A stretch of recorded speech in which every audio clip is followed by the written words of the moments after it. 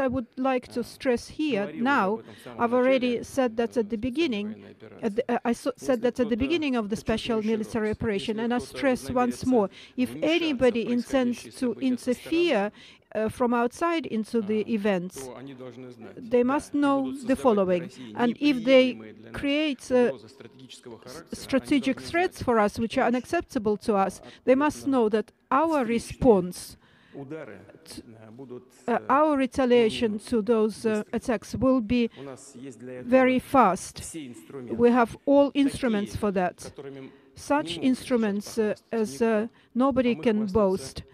And we are not going to boast. We are going to use them if we have to.